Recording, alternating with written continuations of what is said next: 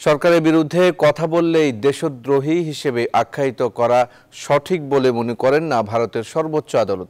জম্মু কাশ্মীরের সাবেক মুখ্যমন্ত্রী ফারুক আবদুল্লার বিরুদ্ধে একটি আবেদনের শুনানিতে ভারতের সুপ্রিম কোর্ট এমন পর্যবেক্ষণ দিয়েছেন। এই আদালতের ফারুকের বিরুদ্ধে আবেদন করেছিলেন রজত শর্মা ও নেহ শ্রীবাস্তব। সেখানে ফারুক আবদুল্লাহকে দেশ বিরোধী আখ্যা দেন আবেদনকারীরা। বলেন, সাবেকেই মুখ্যমন্ত্রীর সংসদীয় সদস্য পদ কেড়ে না নেওয়া হলে তা হবে দেশদ্রোহীদের উৎসাহ দেওয়ার সামিল। তবে আবেদনকারীদের এমন দাবি বুধবার খারিজ করে দিয়েছেন সুপ্রিম কোর্ট। সে সঙ্গে আবেদনকারীদের পঞ্চাশ হাজার টাকা জরিমানাও করেছেন আদালত।